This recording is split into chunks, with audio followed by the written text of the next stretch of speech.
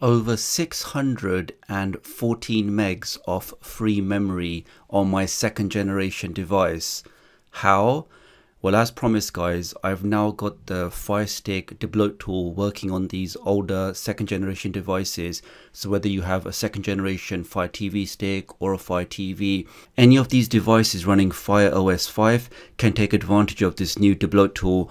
On top of that, I've actually applied three custom ADB commands, which really give a massive boost to performance. So navigating around the UI, clicking on things, selecting things everything just seems so much more snappy than before. So in this video today let me show you how you can use the debloat tool on your device and then also run those three custom adb commands. So do take a moment to hit that like button. Make sure you hit that subscribe button. So with all of that being said let's get started. If you're new to the channel and you want to stay up to date with the latest tech tutorials the latest fire stick android and android tv tips and tricks then please do subscribe and hit the notification bell. It's a small click from you, but it makes a big difference to me. Thank you. Okay, so quick disclaimer before we start. The 4K Fire Stick debloat tool, the way it works is we have the ability to disable up to 40 different Amazon processes. You can check off those processes, run the tool, and it disables all of them for you. Now, as I mentioned in my previous video, a couple of those processes will actually stop Amazon Prime Video working. And if you want to use Amazon Prime Video, then don't tick those particular processes. And that's how it works on the 4K debloat tool. Now on the older Fire OS 5 devices, we do not have the ability to disable processes because that command is just not available. What we can actually do is uninstall those processes for the current user, which is yourself. Now what that means is we can uninstall up to 15 different processes, but once they're uninstalled, there's actually no way you can get them back unless you do a factory reset. Now saying all of that, I've uninstalled all 15 processes on my second generation Fire TV and it's not caused any issues on my device. Prime Video still works, all of the applications I use still work, and of course the device is just a lot more snappier than before. And in this video I'm going to demonstrate the process on my second generation Fire TV stick. Now before we start the process, the only two things we need to do are confirm your IP address and also make sure that ADB debugging is enabled. So if I go over to settings, go to my Fire TV, go to developer options and make sure this is on. Once you've done that, Let's go to about and here we can just see my IP address ends in 146. Now the reason why this is important is as we know on the second generation devices we cannot make any ADB connection directly on the device itself. You have to make that connection from another Android device so maybe your Android phone or your Android tablet and in my example I'm going to use an Android emulator on my PC and if you don't know how to install that I will leave a link in the video description. Okay, so we've confirmed my IP address and we've confirmed that ADB debugging is enabled. Let's now go over to my Android emulator and here it is. And the first thing I'm going to do is just open up a browser, navigate to my tutorials page and in the tutorials page, the latest tutorial in the list will be how you can supercharge your old Fire OS 5 devices. Let's open that up now. And here is that tutorial. Let's scroll down and the first thing we have here are those ADB tweaks.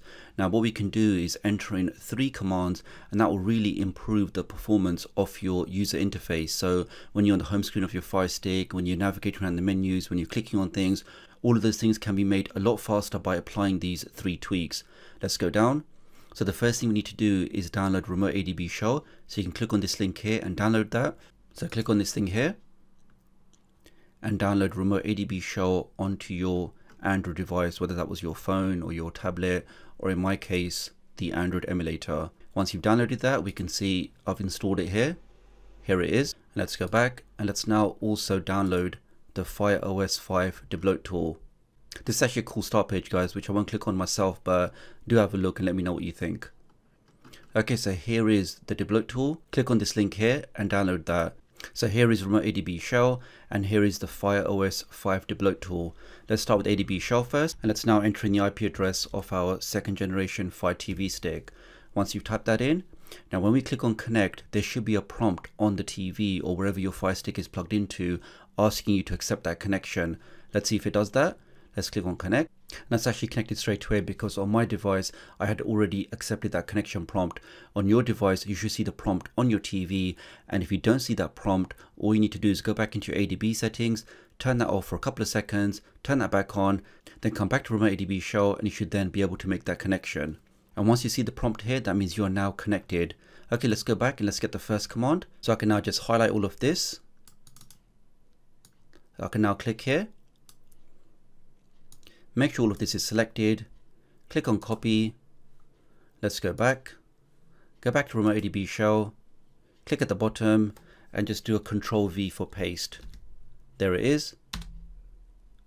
And as long as you don't get any errors, that command has now gone in. Let's go back and get the second command. Let's get all of that highlighted. Click on copy. Let's go back to remote ADB shell. Let's do a control V. That's the second command. Let's go back and let's now get the final command. Now a key thing is on these older Fire OS devices, this change is actually only applied when you reboot the device. So we're not going to notice any difference in performance until you restart it. Okay, let's now highlight the third one. Let's get the final command. Click on copy. Let's go back. Let's do a final paste. Now in case you're wondering why is the last command uh, 0.5 and not 0, I actually discovered a bug where if you do set it as 0, then the virtual mouse inside downloader would just go from side to side and you won't be able to select anything. So that's why the last command, the animated duration scale, is actually set to 0.5. Okay, so we've done the first part of the process. Let's go back to home. Let's now start the debloat tool. Let's click on that. And here is the Fire OS debloat tool. And the first thing it asks you is what is the IP address of your Fire OS 5 device? And here I've just typed that in. So that's 146. Let's now click on connect. And we now see this prompt, which means it's asking our device, do you allow this connection? So let's go back to the Fire Stick. And there it is guys. So that's the prompt that you want to see on your device to make sure that the debloat tool can actually connect to it. So make sure you click on always allow and click on OK. Let's go back to the tool and there is just a warning one more time that anything that you uninstall, if you do want to bring it back, you will have to do a factory reset of your device. Let's click on OK and here we are guys. So this is the Fire OS debloat tool. So do give a thumbs up for that. We can see this is now connected and here we can just see all of these background processes will now be uninstalled when we run this tool and once again this won't affect Amazon Prime Video. Okay so you can actually individually tick these things off if you want to but if you just want to follow what I did, I just clicked up here, which basically means select all. I can now click on the tick box on the top right. And this should now go ahead and start uninstalling those processes for you.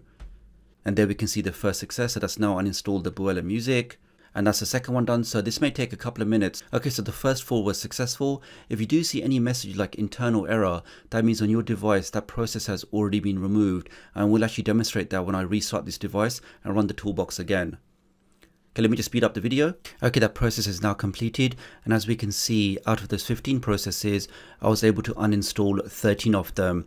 Now, when I followed the same process on my second generation Fire TV, I was actually able to uninstall all 15. So there may be slight variances depending on which Fire OS 5 device that you have. But as we can see, guys, most of those processes are now uninstalled. What we need to do now is to actually do a reboot of the device. Now, the quickest way to reboot your device is just to hold the play and the select buttons together. Let's do that now for 5 seconds. And that should then restart the device and we can see it's done exactly that. Now let me just take this opportunity to say a massive thanks to all of the new members of my channel. Your support really does mean a lot and if any of you guys want to sign up, I'm doing a special promotion for the first 100 members whereby all of you can join my private chat group and in this chat group we can talk about stuff, we can provide support to each other and we can even share our APKs. So some of those applications, some of those toolboxes I'm working on, you guys can get early access to them. So if that sounds of interest to you, do have a look out for the join button. Thank you. Okay, so the device is now restarted, which means those three ADB performance commands have also gone in. And just seeing now, guys, clicking on these things, opening up these options, it does feel a lot more snappy than before, especially on this really old second generation Fire TV stick. Okay, that's the first test. The second test we're going to do is, let's go back to the tool and let's see what happens now when we actually run it again because those things that we've uninstalled, we want to make sure they don't come back after reboot. Let's go over to my emulator. Let's back out of this, back again. Let's connect again. Okay, we're now connected. Let's now highlight everything again and click on run.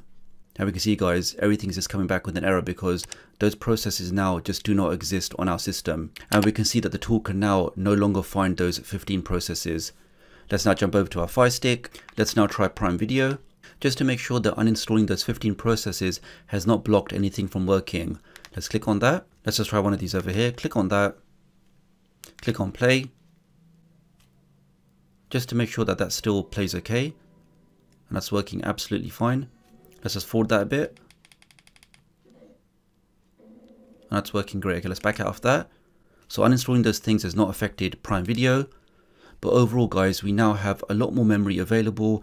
We have a lot more snappier UI, user interface, and these old legacy Fire OS 5 devices have been given another lease of life. So that's all for this video guys. Many thanks for watching. So many of you are asking for this debloat tool for these older devices. So I do hope you like it. Do let me know and I'll hopefully catch up with you guys real soon. Thanks.